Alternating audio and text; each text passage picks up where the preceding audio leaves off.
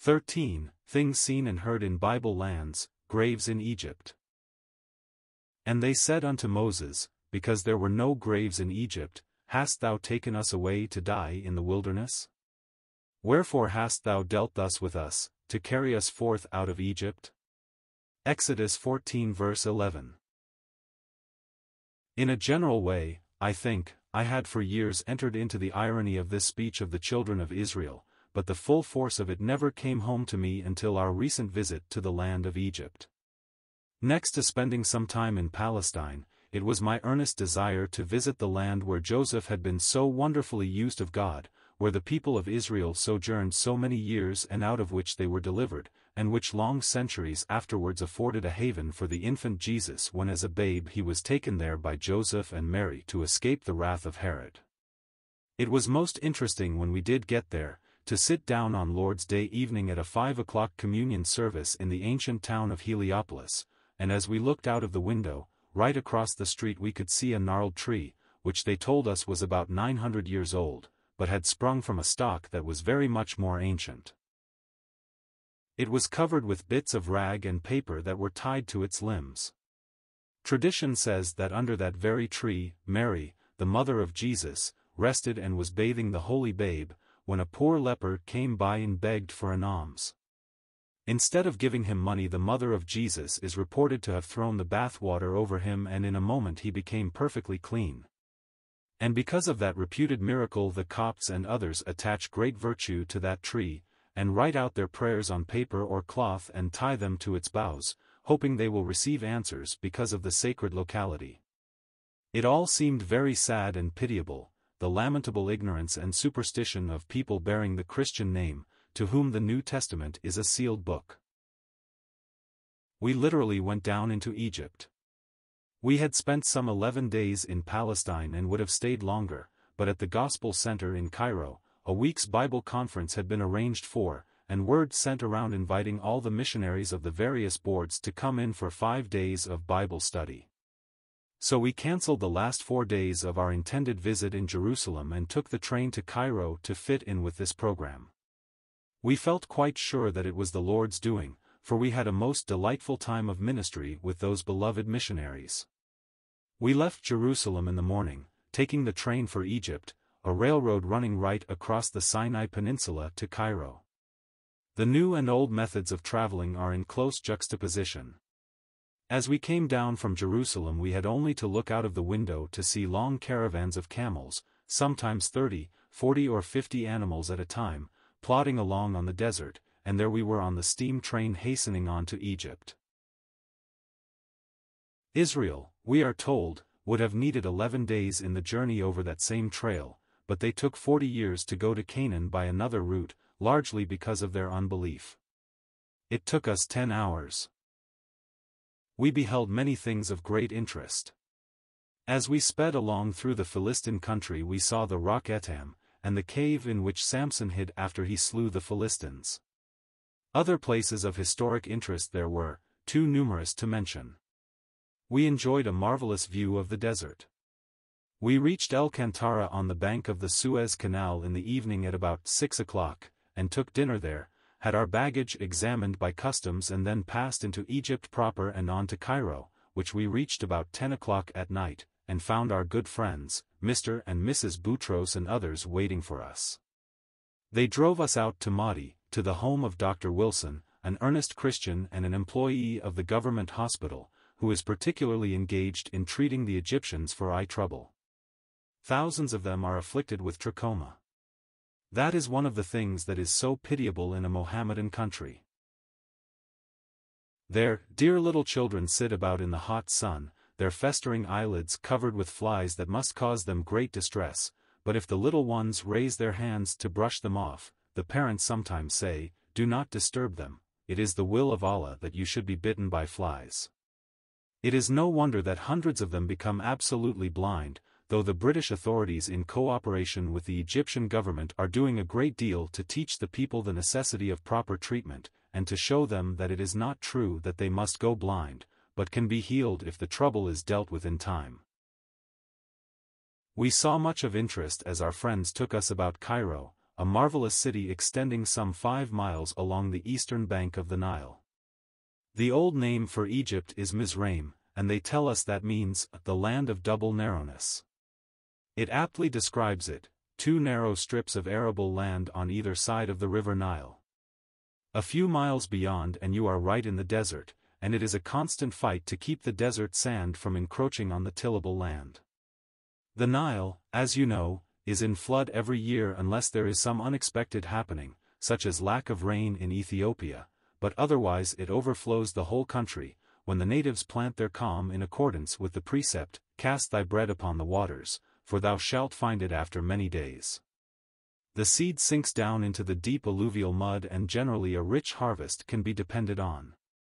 It is very suggestive to those of us who try to preach the gospel. How little we know just where the word we proclaim may reach.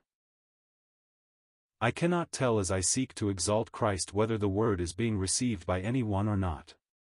But it is my business to sow the seed and expect that I will see fruit after many days. When one stands at the judgment seat of Christ, he may learn of many who were saved, of whom he knew nothing down here. When Israel dwelt in Egypt something like 1,600 years before Christ, it was already an ancient kingdom.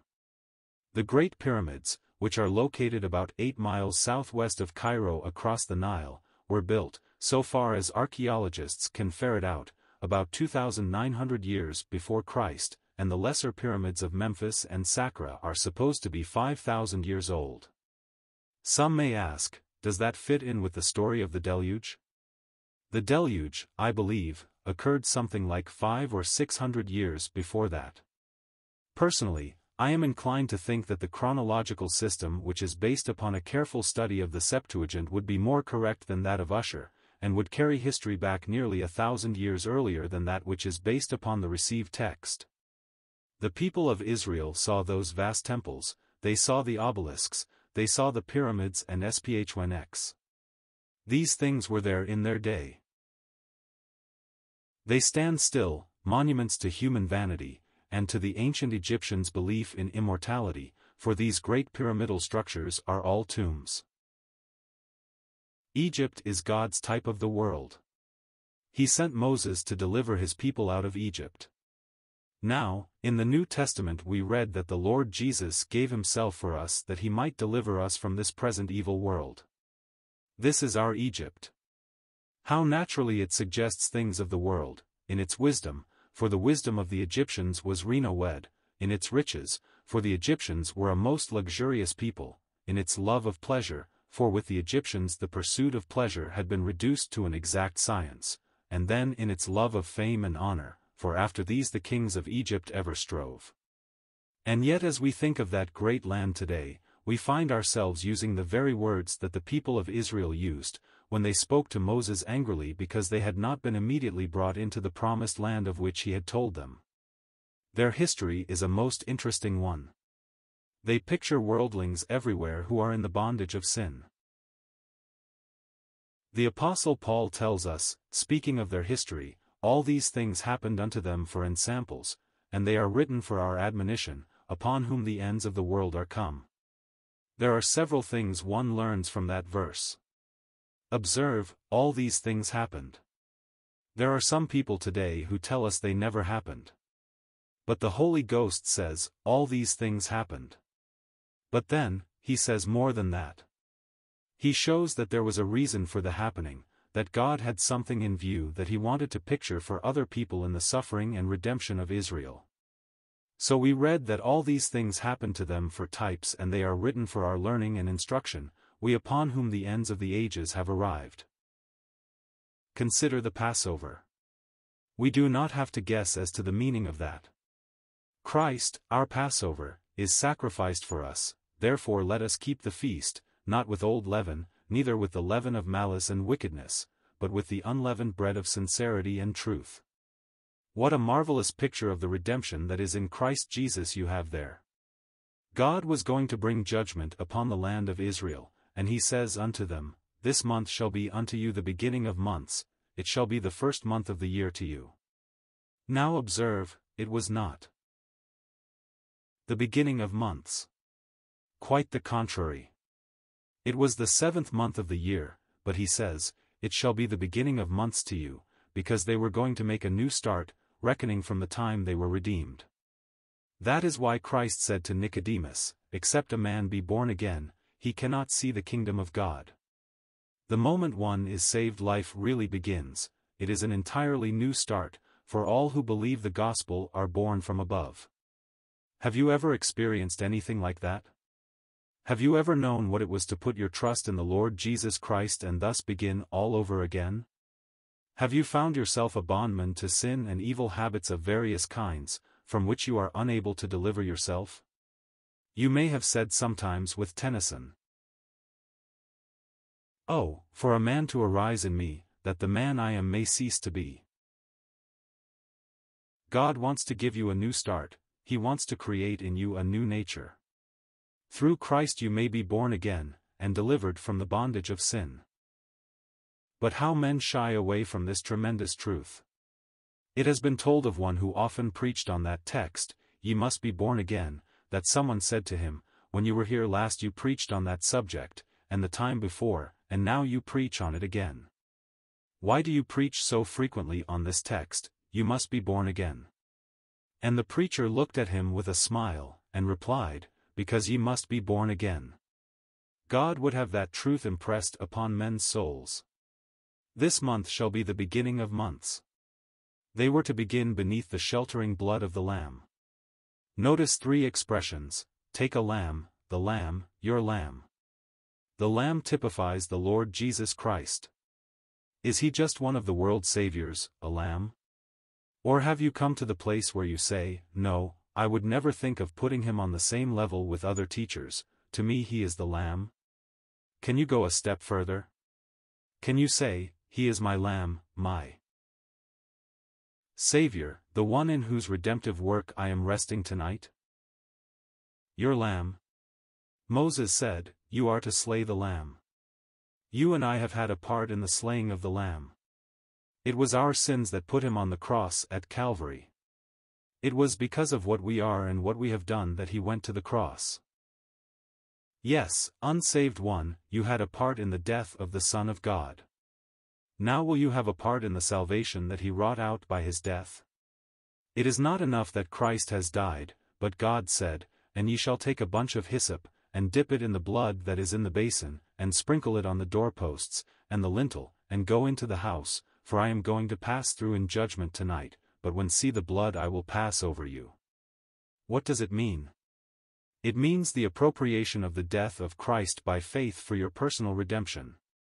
Have you put your trust in Christ? Has the blood been sprinkled over your doorpost? Are you inside in the place of security? If you are, thank God, the judgment can never reach you there. But now notice it was not only God's thought that they should be saved in Egypt that night, but they were to be saved out of it altogether. He does not want us to go on with the world after he has saved us. He said to Moses, Let the people camp between the mountains and the sea, and behind them was Pharaoh's army, and that the people were in great distress and they said, This is not deliverance. Is it because there were no graves in Egypt that thou hast taken us away to die in the wilderness?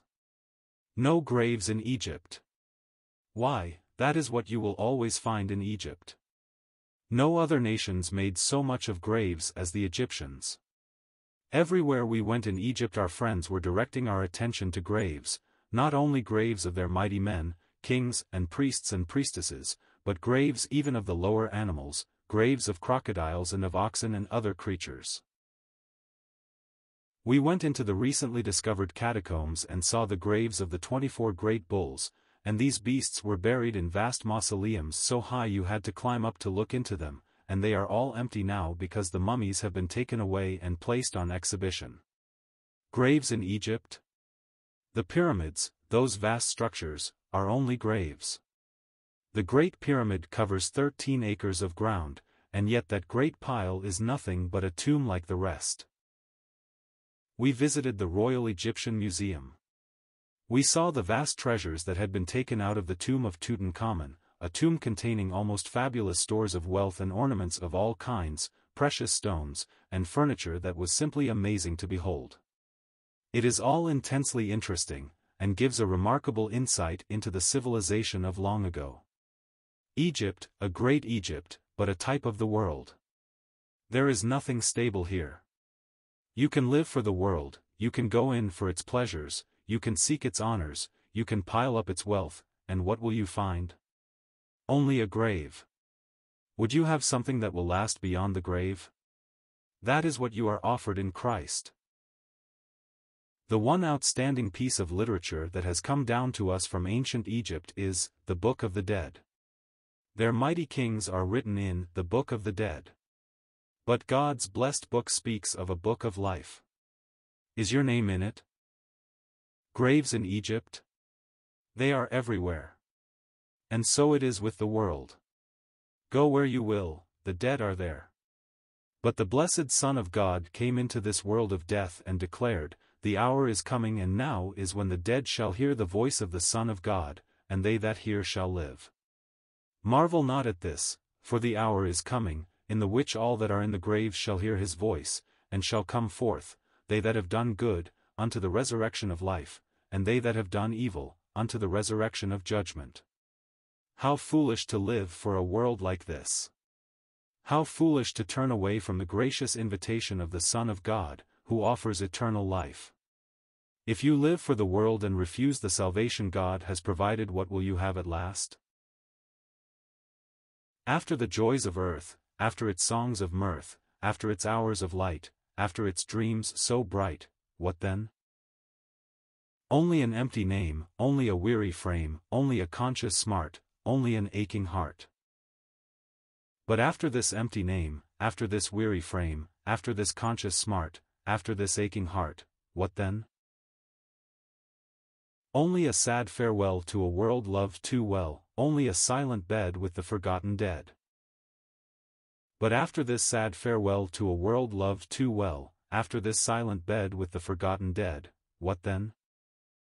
Oh, then, the judgment throne. Oh, then, the last hope gone. Then, all the woes that dwell in an eternal hell. Why will men forfeit heavenly glory for earth's passing, fading folly?